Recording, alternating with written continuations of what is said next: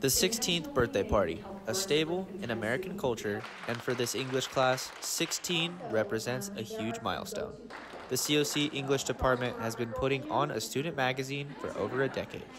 What started out as a brainchild for Professor Aline Terzian Zaytunian has now turned into an outlet for students to express themselves through written word and art. That moment of seeing the magazine come together, like we literally walk into class day one with nothing.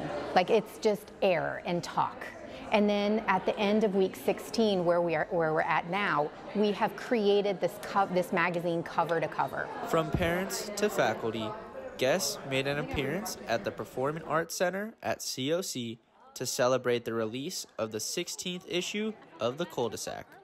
Although this event takes place every year, this is the first time in three years the English department has been able to host the release of the magazine in person due to COVID. It wasn't Zoom, you weren't going to meet people behind a screen, you're going to meet people face, face to face.